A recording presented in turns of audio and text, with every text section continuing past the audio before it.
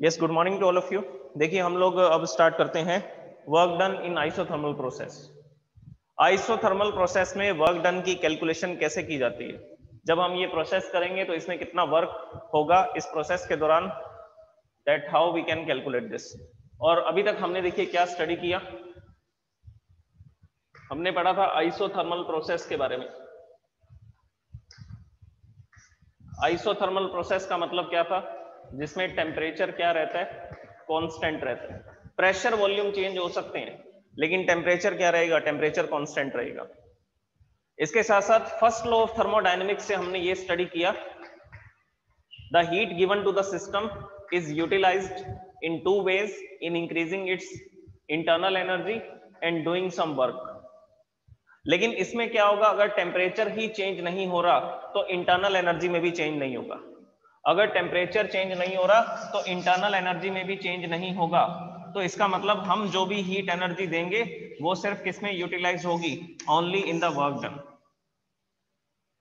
so this is explain through the first law of thermodynamics इसको हमने isothermal process को हमने एक्सप्लेन किया किसकी हेल्प से?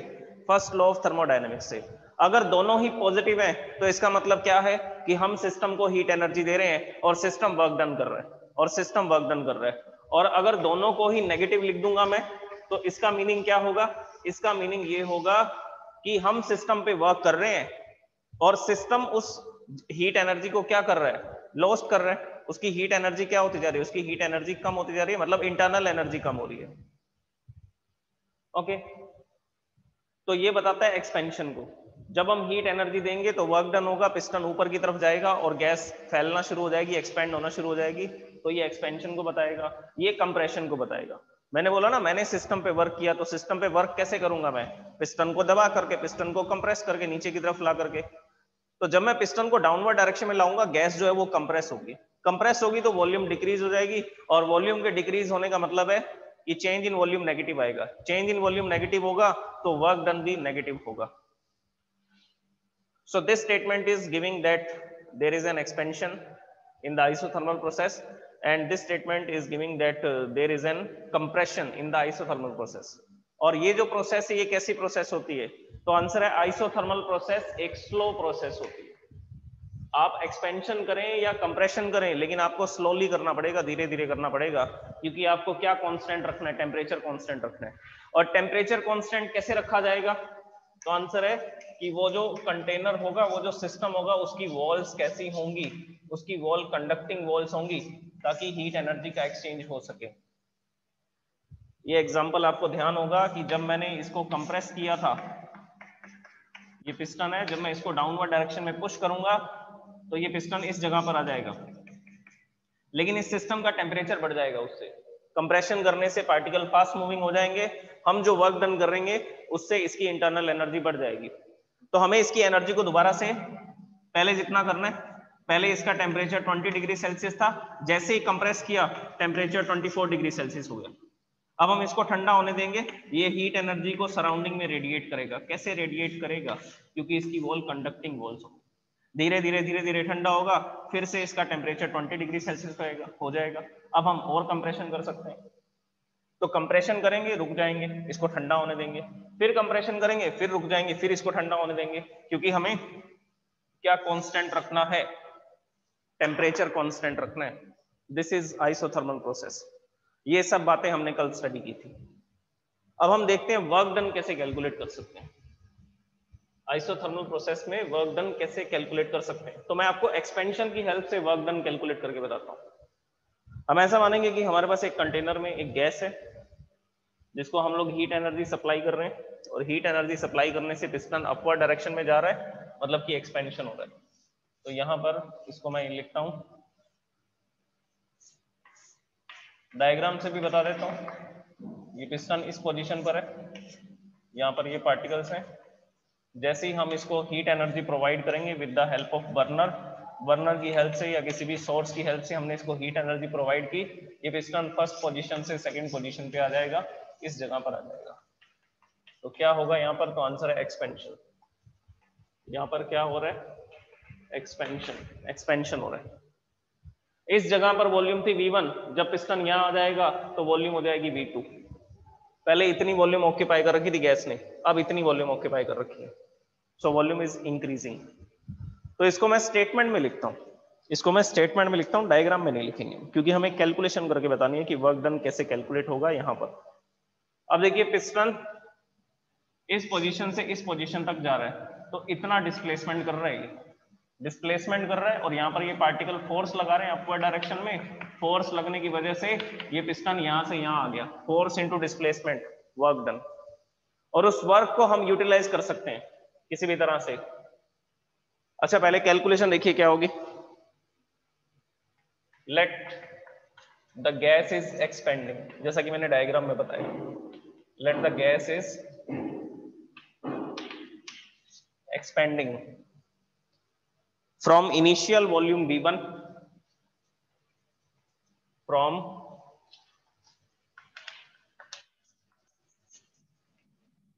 initial volume V1 to final volume V2 to final volume V2 कोई gas है वो एक्सपेंड हो रही है इनिशियल वॉल्यूम V1 से फाइनल वॉल्यूम V2 तक देन द वर्क डन मैंने आपको एक इंटीग्रेशन का फॉर्मूला बताया था इसके लिए। The work done is written as W is equal to integration from V1 to V2 this is the limit of integration ये इसकी लिमिट है। P dot dv. P dot dv. ये हमारा फॉर्मूला था वर्क डन कैलकुलेट करने का। अब हम लोग क्या करेंगे, यहाँ पर P की वैल्यू को पुट करेंगे। From ideal gas equation from ideal gas equation, ideal gas equation क्या होती है? P V is equal to N R T N नहीं लिख रहे हम, क्योंकि एन इज़ वन मोल यहाँ पर जो हमने गैस ली है इस एक्सपेरिमेंट में वो कितनी है? वन मोल है। तो उस केस में आइडियल गैस इक्वेशन क्या लिखी जाएगी? Pv is equal to rt is equal to R T okay तो यहाँ से पी की वैल्यू निकालिए। अगर हम p की वैल्यू को यहाँ से कैलकुलेट करेंगे so it will be p is equal to देखिए, v इधर मल्टीप्लाई में, यहाँ आएगा तो डिवाइड में आ जाएगा। So it will be R T upon V p is equal to R T upon V तो इस वैल्यू को हम लोग पुट कर देंगे इक्वेशन फ़र्स्ट में। Put this value in the equation first equation first में जैसे ही वैल्यू पुट करेंगे so the equation will become w is equal to integration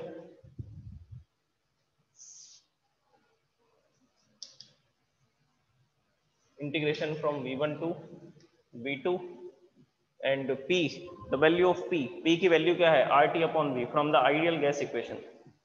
देखिए, यहाँ पर p जो है वो कांस्टेंट है प्रेशर जो है वो कांस्टेंट रहेगा।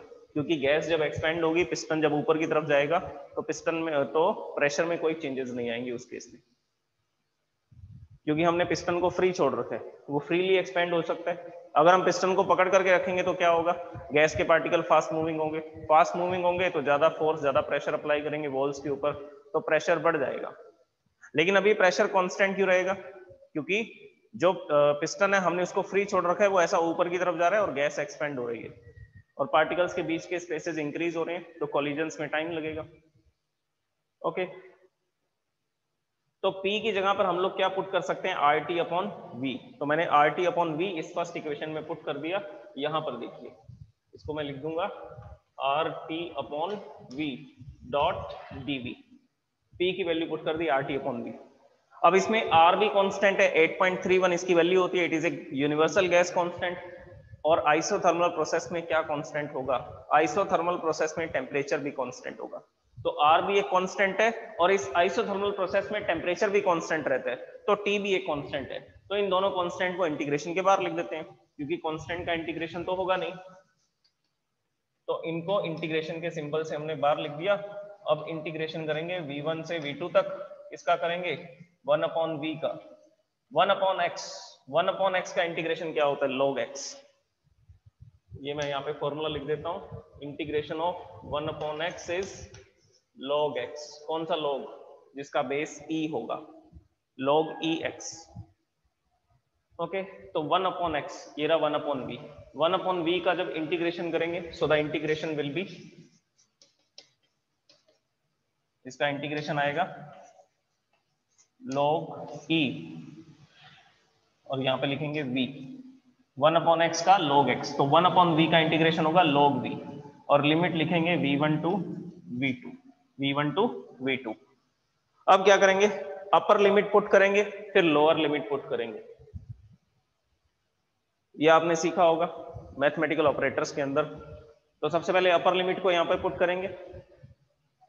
इक्वेशन देखिए क्या बन जाएगी। R T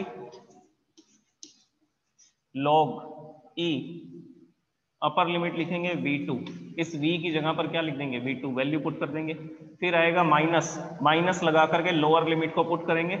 लोअर लिमिट को पुट करोगे तो याद आएगा log e v1 so this will the equation अब यहाँ पे भी एक फॉर्मूला लग सकता है।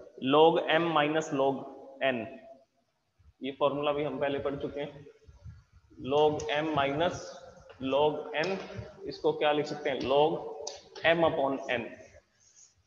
तो यहाँ पर है log m minus log N इसको क्या लिख सकते हैं? log m अपॉन n लिख सकते हैं।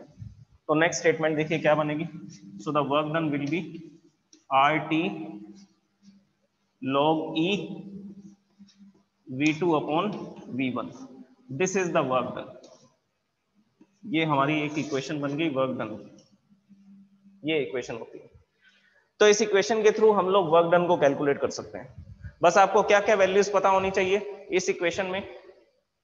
आपको सिर्फ़ उसका टेम्परेचर पता होना चाहिए सिस्टम का। सिस्टम का टेम्परेचर पता है 22 डिग्री सेल्सियस 27 25 जितना भी है, वो यहाँ पर पुट कर देंगे। और क्या पता होनी चाहिए? इनिशियल वॉल्यूम और फाइनल वॉल्यूम फाइनल वॉल्यूम है V2 divide by initial volume V1 तो इनिशियल और फाइनल वॉल्यूम की वैल्यू पुट कर देंगे और वो टेम्परेचर लिख देंगे सिस्टम का, जो टेम्परेचर कांस्टेंट रहता है आइसोथर्मल प्रोसेस में। तो यहाँ पर temperature initial volume final volume ये तीनों पुट करते ही आपको क्या मिल जाएगा? वर्क डन मिल जाएगा कि वो पिस्टन कितना वर्क डन करेगा? 5 जूल का 10 जूल का 50 जूल का 100 जूल का कितना वर्क डन करेगा? तो इस इक्वेशन से फाइंड किया जा सकता है। इस इक्वेशन से हम लोग फाइंड कर सकते हैं वर्क डन अच्छा इस इक्वेशन को चेंज भी कर सकते हैं। फिर से देखिए क्या क्या किया हमने। वर्क डन कैलकुलेट करना बड़ा आसान था। हमने सिर्फ़ फॉर्मूला लगाया वर्क डन का। The work done is written as w is equal to integration from v1 to v2 p dot dv. P की वैल्यू पुट कर दी, कहाँ से पुट की? आइडियल गैस इक्वेशन से। आइडियल गैस इक्वेशन से pv is equal to RT था तो p is equal to आ जाएगा? RT upon v, ये वैल्यू यहाँ पुट कर देंगे। वैल्यू यहाँ पुट करते ही जो कांस्टेंट है उनको बाहर लिख देंगे। R और t कांस्टेंट है, इनको बाहर लिख दिया। 1 अपॉन v का इंटीग्रेशन हो जाएगा log v, और लिमिट होगी v1 टू v2 तो पहले अपर लिमिट लिखेंगे। Log e v2 इसकी जगह पर v2 लिखेंगे, फिर लिखेंगे माइनस माइनस लगा करके लिखेंगे lower limit this is upper limit this is lower limit तो लोअर लिमिट को लिखा जाएगा। फिर हमने यहाँ पे log वाला फॉर्मूला लगा दिया, log m minus log n, m upon n. तो ये v2 log v2 minus log v1 था। तो इसको हम क्या लिख सकते हैं? log v2 अपॉन v1 लिख सकते हैं। तो ये हमारा वर्क डन का फॉर्मूला बन गया। अब इस फॉर्मूला को और भी चेंज किया जा सकता है। करना चाहें तो और भी चेंज कर सकते हैं। इसको लॉग 10 में भी लिख सकते हैं। ये log e है, इसका बेस 10 भी लिखा जा सकता है। किससे मल्टीप्लाई कर देंगे इसको? 2.303 ओके तो इसको मल्टीप्लाई करते हैं हम लोग। और इसको किसमें लिख देंगे फिर? So work done is also written as अगर मैं इसको 2. 303 से मल्टीप्लाई कर दूँ इस इक्वेशन को तो मैं यहाँ पर लॉग 10 लिख सकता हूँ इसके बेस में। और हमारे पास लॉग 10 की जो टेबल्स हैं, वो गिवन होती हैं। फिजिक्स की जो बुक्स हैं, उसमें गिवन है केमिस्ट्री की बुक्स में गिवन है। log 10 बेस 10 की जो टेबल्स हैं, वो गिवन है। और फॉर्मूला क्या लिखेंगे? वी टू अपॉन v1 तो ऐसा भी लिखा जा सकता है इसको। ये तो जनरल सी कैलकुलेशन है। Log e को लॉग 10 लिखने के लिए 2.303 से मल्टीप्लाई कर देते हैं। तो आप इस इक्वेशन आप इस डेरिवेशन को यहाँ तक सॉल्व करें, तब भी सही है। ये लिखें तो ये भी सही है। और चेंज करना चाहें तो और भी चेंज कर सकते हैं। अच्छा आइसोथर्मल प्रोसेस में इक्वेशन ऑफ़ स्टेट क्या होगी? Equation of state equation of state होगी बॉयल्स लॉ जो हमने लास्ट चैप्टर में स्टडी की थी। PV is equal to constant इसकी स्टेट इक्वेशन क्या होती है? PV is equal to constant कैसे पता लगी है PV is equal to constant ideal gas equation क्या होती है? PV is equal to NRT इसमें क्या क्या कांस्टेंट है? तो आंसर है नंबर ऑफ़ मोल हमने एक मोल गैस ली थी तो एन की जगह वन लिख देंगे. कांस्टेंट था वो. आर की वैल्यू होती है 8.31 आइसोथर्मल प्रोसेस में टेम्परेचर भी कांस्टेंट रहता है. So R is a constant T is a constant so ये दोनों ही कांस्टेंट है. इनकी वैल्यूज़ चेंज नहीं होंगी. So PV is equal to constant यही तो लिखा मैंने। PV is equal to constant this is the Boyle's law तो इसकी स्टेट इक्वेशन आइसोथर्मल प्रोसेस की स्टेट इक्वेशन होती है PV is equal to constant मतलब कि सिस्टम में कोई भी चेंजेस हो जाए, लेकिन उनका प्रेशर और वॉल्यूम का जो मल्टीप्लीकेशन है, उनका जो प्रोडक्ट है, वो हमेशा कांस्टेंट मिलेगा। उनका प्रोडक्ट हमेशा कांस्टेंट मिलेगा। पहले प्रेशर P1 था और वॉल्यूम V1 थी। बाद में प्रेशर P2 हो गया और वॉल्यूम V2 हो गई। लेकिन इनका मल्टीप्लीकेशन कैसा रहेगा? इनका मल्टीप्लीकेशन तो कांस्टेंट रहेगा। अब क्या हम इसकी हेल्प से इस इक्वेशन को चेंज कर सकते हैं? तो आंसर है यस ये देखिए P1 V1 is equal to P2 V2 is equal to constant यहाँ से हमारे पास कुछ नया फॉर्मूला आने वाला है। हम इस इक्वेशन को प्रेशर की टर्म्स में भी लिख सकते हैं। ये वॉल्यूम की टर्म्स में लिखी हुई है, हम इसको प्रेशर की टर्म्स में भी लिख सकते हैं। कैसे? यहाँ से बनाइए। ये रहा relation P1 V1 is equal to P2 V2 तो मैं यहाँ पे लिखता हूँ P1 V1 is equal to P2 V2 cross multiply कर देते हैं। कैसे करेंगे? ये V1 इधर मल्टीप्लाई में यहाँ आएगा तो डिवाइड में आ जाएगा। So here it will be V2 upon V1 और ये P2 इधर मल्टीप्लाई में है, इधर आएगा तो डिवाइड में आ जाएगा। So it will be P1 upon P2 ये बन गई इक्वेशन तो V2 अपॉन V1 की जगह क्या लिख सकते हैं? P1 upon P2 V2 upon V1 की जगह क्या लिख सकते हैं? P1 अपॉन P2 तो यहाँ पे पुट कर देते हैं। यहाँ पे जैसे ही आप पुट करेंगे तो एक फॉर्मूला और बन जाएगा। वो होगा the work done in the isothermal process in terms of pressure pressure के टर्म्स में भी इस फॉर्मूला को लिखा जा सकता है। तो मैं इस इक्वेशन को चेंज करने वाला हूँ। यहाँ पे लिखेंगे, W is equal to two point three zero three R T log base 10 and B two upon B one इसकी जगह पे क्या लिख सकते हैं? P one upon P two so it will be P one upon P two उसमें two ऊपर है और वन नीचे है। इसमें उल्टा होगा। इसमें वन ऊपर होगा और टू नीचे आएगा। Initial pressure divide by final pressure initial pressure divide by final pressure तो ये भी वर्क डन का ही फॉर्मूला है। कौन सी प्रोसेस में? आइसोथर्मल process में। This is the work done in the isothermal process okay? तो यहाँ तक भी लिख सकते हैं डेरिवेशन को। उसके बाद log बेस ई e था। इसको बेस 10 करने के लिए 2.303 से मल्टीप्लाई कर दिया तो यहाँ पे log बेस 10 लिख दिया। और v2 अपॉन v1 की जगह क्या लिख सकते हैं? पी वन अपॉन p2 ये हमने कैसे निकाला? State of equation oh sorry state equation से या बोल सकते हैं इक्वेशन ऑफ़ स्टेट्स तो इसकी इक्वेशन ऑफ़ स्टेट एक्चुअल में बॉयल्स लॉ ही होती है PV is equal to constant और ये कांस्टेंट कैसे है, वो मैंने आपको बता दिया। इसके बेसिस पर हम ये लिख सकते हैं P1 V1 is equal to P2 V2 is equal to constant इनका मल्टीप्लिकेशन हमेशा कांस्टेंट रहेगा। चाहे प्रोसेस चाहे सिस्टम किसी भी प्रोसेस से गुजरे। किसी भी प्रोसेस मतलब आइसोथर्मल प्रोसेस की किसी भी स्टेट स्टेज से गुजरे। तो यहाँ पर हमने इस इक्वेशन का यूज़ करके ये बना लिया। तो V2 अपॉन V1 की जगह P1 अपॉन P2 लिख दिया और ये इक्वेशन बन गई। So work done in isothermal process is calculated by this equation और दिस इक्वेशन और दिस इक्वेशन अगर क्वेश्चन में प्रेशर गिवन है तो इस इक्वेशन से सॉल्व करेंगे। अगर क्वेश्चन में इनिशियल वॉल्यूम और फाइनल वॉल्यूम गिवन है तो इस इक्वेशन से सॉल्व करेंगे। और टेम्परेचर आपको बता रखा होगा कि आइसोथर्मल प्रोसेस में किस कौन से कांस्टेंट टेम्परेचर पे ये प्रोसेस की जा रही है। टेम्परेचर रहेगा constant okay so this is the work done in the isothermal process. अब हम पढ़ते हैं एडियाबेटिक प्रोसेस एडियाबेटिक प्रोसेस क्या होती है? उसके बारे में सुनिए।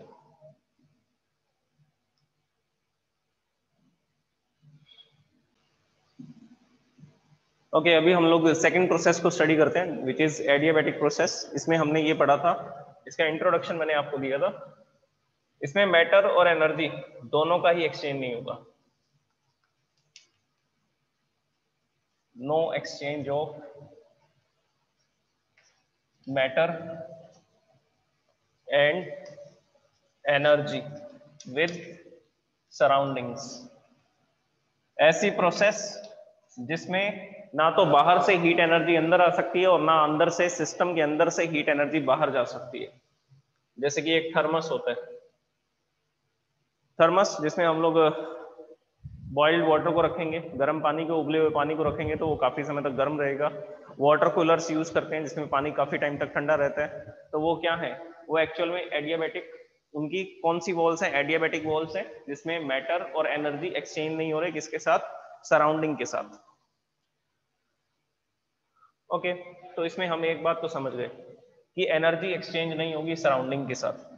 अगर एनर्जी एक्सचेंज नहीं होगी सराउंडिंग के साथ so D Q will be zero adiabatic process में D Q heat energy supply to the system is zero हमने क्या किया? यहाँ पर एक सिस्टम बनाया। इस सिस्टम के अंदर ये जो वॉल्स हैं, ये सारी की सारी वॉल्स एडियाबेटिक हैं और यहाँ पर एक पिस्टन लगा हुआ है। ये पिस्टन भी एडियाबेटिक है। This system is having non conducting walls adiabatic walls बोल सकते हैं या इसकी बजाय आप क्या बोल सकते हैं? इंसुलेटिंग वॉल्स भी बोल सकते हैं। और you can say that non conducting walls तो अगर मैं यहाँ पर एक बर्नर लगा दूँ और इसको गर्म करने की कोशिश करूँ तो क्या नहीं होगा? इसके अंदर कोई भी हीट एनर्जी नहीं जाएगी। क्योंकि यहाँ पर जो वॉल्स लगी हुई हैं, वो एडियाबेटिक वॉल्स हैं, ये एडियाबेटिक वॉल्स हैं। नॉन कंडक्टिंग वॉल्स हैं। मैं जो भी हीट एनर्जी दूँगा, वो इस सिस्टम के एनर्जी को वो इंक्रीज नहीं करेगी। मैं यहाँ पर जो भी हीट एनर्जी दूँगा, वो हीट एनर्जी इस सिस्टम की एनर्जी को इंक्रीज नहीं करेगी। तो heat energy supply to the system is zero तो हम लोग सिस्टम को हीट एनर्जी दे ही नहीं सकते। तो एडियाबेटिक प्रोसेस में क्या याद रखना है? D Q is equal to zero the heat energy lost by the system और the heat energy supply to the system is zero जो हीट एनर्जी हम सिस्टम को दे रहे हैं या सिस्टम अपनी हीट एनर्जी एनवायरमेंट में भी क्या नहीं कर सकता? लॉस्ट नहीं कर सकता so D Q is equal to zero अब इसमें डी क्यू ज़ीरो होते हैं तो हम लोग अब किसके बेसिस पर इसको एक्सप्लेन करेंगे? Using first law of thermodynamics using first law of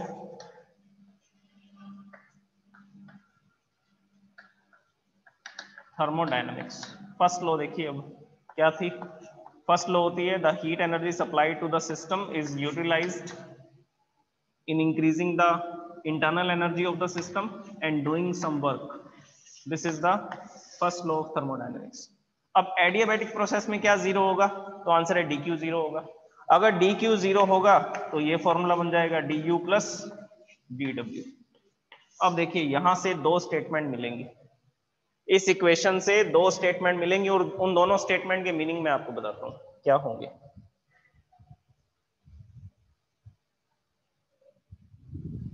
सबसे पहला फ़र्स्ट वन अगर dw को मैं उस तरफ़ लेकर के जाऊँ, ये जो dw है, ये पॉजिटिव है, अगर मैं उसको उधर लेकर के जाऊँगा तो dw हो जाएगा नेगेटिव तो क्या इक्वेशन बनेगी? पहली तो ये इक्वेशन बन सकती है D U is equal to minus D W D U is equal to minus D W अब इसका मीनिंग क्या है? इसका मीनिंग ये होगा कि जब हम सिस्टम पे वर्क करेंगे, देखिए माइनस डी डब्ल्यू क्या बताएगा?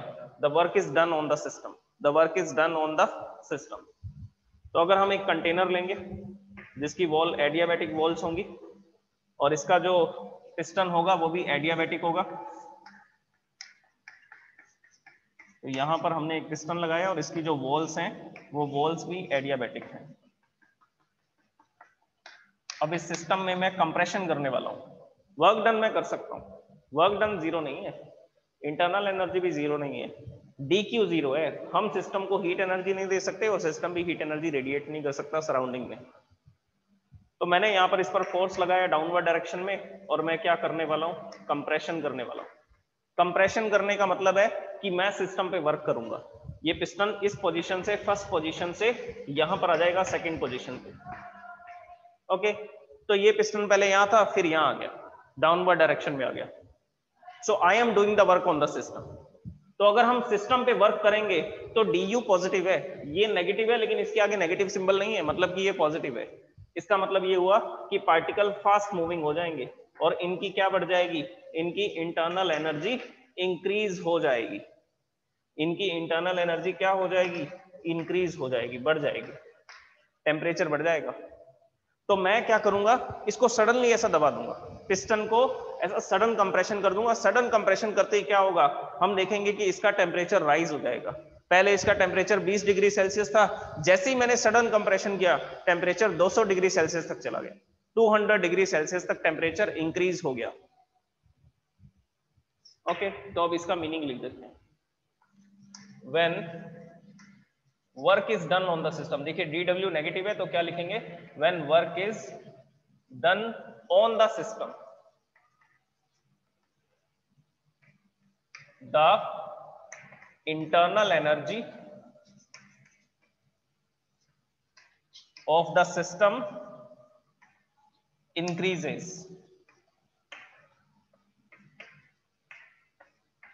अगर हम सिस्टम पे वर्क करेंगे तो सिस्टम की इंटरनल एनर्जी बढ़ जाएगी मतलब कि उसका टेम्परेचर बढ़ जाएगा।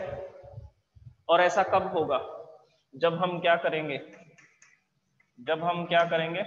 कंप्रेशन कंप्रेशन के दौरान ऐसा होगा। अब नेक्स्ट स्टेटमेंट देखिए। सेकंड स्टेटमेंट इससे क्या बनेगी? इससे सेकंड स्टेटमेंट क्या बन सकती है? ये डी यू पॉजिटिव है। इसको इधर ले जाएँगे तो नेगेटिव हो जाएगा। इसको इधर शिफ्ट करेंगे। इसको उधर शिफ्ट करेंगे तो ये नेगेटिव हो जाएगा। क्या इक्वेशन बन जाएगी। Minus D U is equal to D W. अब इंटरनल एनर्जी नेगेटिव है और वर्क डन पॉजिटिव है। वर्क डन पॉजिटिव का मतलब है एक्सपेंशन होगा। वर्क डन पॉजिटिव का मतलब है सिस्टम वर्क करेगा। The work is done by the system the work is done by the system and there is an expansion of the gas पहले piston इस जगह पर था। हमने इसका टेम्परेचर मेजर किया, हमने इसका टेम्परेचर देखा 200 डिग्री सेल्सियस अब ये पिस्टन धीरे धीरे ऊपर जाना शुरू हो गया। ऊपर जाना शुरू हो गया, उसका रीजन क्या है? उसका रीजन ये है कि हमने पिस्टन को फ्री छोड़ दिया। पहले इसको ऐसा पकड़ करके रखा हुआ था तो ये पिस्टन इस पोजिशन पे था। जैसे ही मैंने इसको फ्री छोड़ा, ये पिस्टन धीरे धीरे ऊपर जाना शुरू हो गया। धीरे धीरे ऊपर जाना शुरू हो गया तो मतलब यहाँ पर क्या होने वाला है? यहाँ पर होगा एक्सपेंशन और एक्सपेंशन में टेम्परेचर डिक्रीज हो जाता है। तो ये पिस्टन जैसे ही इस पोजीशन से यहाँ पे जाएगा फ़र्स्ट फ़र्स्ट से सेकंड पोजीशन पे जाएगा तो यहाँ पर एक्सपेंशन हो जाएगा। एक्सपेंशन हो जाएगा तो पार्टिकल्स की काइनेटिक एनर्जी कम हो जाएगी। पार्टिकल्स एक दूसरे से दूर दूर हो जाएँगे नंबर ऑफ़ कॉलिजन्स कम हो जाएँगे, इनकी इंटरनल एनर्जी कम हो जाएगी। टेम्परेचर 200 डिग्री सेल्सियस था, बाद में हम नोट करेंगे कि इसका टेम्परेचर थोड़ा कम हो चुका है 150 डिग्री सेल्सियस हो गया। जब पिस्टन इस जगह पर है तो गैस का टेम्परेचर 200 डिग्री सेल्सियस था मतलब इसके पास कुछ इंटरनल एनर्जी थी। हमने पिस्टन को जैसे ही इस पर फ्री छोड़ दिया, हमने इसके ऊपर जो प्रेशर लगा रखा था, उसको कम कर दिया तो धीरे धीरे पिस्टन ऊपर जाना शुरू हो गया। अब कौन वर्क कर रहा है? क्या हम पिस्टन को ऊपर लेकर के जा रहे हैं क्या? तो आंसर है नो यहाँ पर गैस के पार्टिकल इससे कोलाइड कर रहे हैं और पिस्टन को अपवर्ड डायरेक्शन में लेकर के जा रहे हैं। So gas is doing the work so gas is doing the work तो यहाँ पे लिखेंगे obviously gas is doing the work because work done is positive अगर वर्क डन पॉजिटिव है तो सिस्टम वर्क कर रहा है। तो when work is done by the system when work is done by the system then the internal energy of the system decreases. Then internal energy of the system decreases.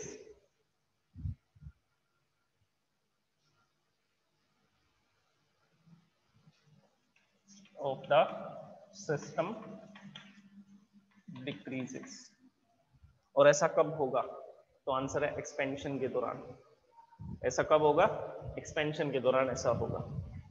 जब gas work करेगी, अगर system work कर रहा है तो work done positive है। अगर system work करेगा तो सिस्टम की इंटरनल एनर्जी कम हो जाएगी। मतलब सिस्टम ने अपनी एनर्जी खर्च करके पिस्टन को ऊपर लेकर के आया पार्टिकल जाकर के पिस्टन से टकराए, तभी तो पिस्टन ऊपर की तरफ़ जा रहा है एक्सपेंशन हो रहा है। तो पार्टिकल ने अपनी एनर्जी खर्च की। अगर पार्टिकल्स ने अपनी एनर्जी खर्च की तो उनकी एनर्जी कम हो जाएगी। इसीलिए डी यू के आगे नेगेटिव लगा हुआ है। यहाँ पर डी यू पॉजिटिव था, क्योंकि जब हम वर्क करते हैं सिस्टम पे तो सिस्टम की इंटरनल एनर्जी बढ़ जाती है। यहाँ पर जब सिस्टम वर्क करता है तो सिस्टम की इंटरनल एनर्जी डिक्रीज हो जाती है। So this is all about adiabatic process अब हम इसमें कुछ इक्वेशंस के बारे में पढ़ेंगे और वर्क डन कैसे कैलकुलेट करते हैं एडियाबैटिक प्रोसेस में। अच्छा इसकी कंडीशंस क्या है? एडियाबैटिक प्रोसेस की नेसेसरी कंडीशंस क्या है? नेसेसरी कंडीशन ये है कि हीट एनर्जी का एक्सचेंज नहीं होना चाहिए। तो इसकी नेसेसरी कंडीशंस हैं कैसी वॉल्स होनी चाहिए? एडियाबैटिक वॉल्स सिस्टम की वॉल्स होनी चाहिए adiabatic walls second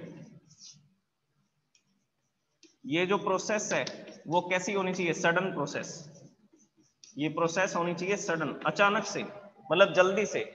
sudden process बोल दो या इसकी बजाय हम लोग बोलेंगे फास्ट प्रोसेस सडन प्रोसेस बोलेंगे या क्या बोल सकते हैं इसको? फास्ट प्रोसेस तो एक्सपेंशन जब करेंगे तो पिस्टन को जैसे ही छोड़ेंगे पिस्टन अचानक से ऊपर आ जाएगा और उसका टेम्परेचर कम हो जाएगा मतलब उसकी इंटरनल एनर्जी कम हो जाएगी। और हम जब कंप्रेशन करेंगे तो पिस्टन को अचानक से नीचे दबा देंगे, जिसकी वजह से सिस्टम की इंटरनल एनर्जी बढ़ जाएगी। क्योंकि ये सडन प्रोसेस करना क्यों ज़रूरी है? उसका रीजन ये है कि अगर हम सडन प्रोसेस करेंगे तो सिस्टम को सराउंडिंग में हीट एक्सचेंज करने का टाइम नहीं मिलेगा। वो टाइम हम उसको देंगे ही नहीं। अगर हम उसको कंप्रेस करके छोड़ देते हैं तो धीरे धीरे वो एनर्जी एक्सचेंज करता है सराउंडिंग के साथ। लेकिन हम ऐसा नहीं होने देंगे। तो आपको ये सडन प्रोसेस करनी है फास्ट प्रोसेस करनी है। कंप्रेशन करना है, तब भी फास्ट होगा एक्सपेंशन होगा, तब भी फास्ट होगा। और दोनों ही केसेस में क्या हो रहा है? जब हम सिस्टम पे वर्क करेंगे तो इंटरनल एनर्जी बढ़ जाएगी। और जब सिस्टम वर्क करेगा इन दिस केस जब सिस्टम वर्क करेगा तो उसकी इंटरनल एनर्जी कम हो जाएगी। जिसके आगे नेगेटिव लगा हुआ है, उसका डिक्रीमेंट हो रहा है। और जो क्वांटिटी पॉजिटिव है, उसका इंक्रीमेंट हो रहा है। Okay thank you so much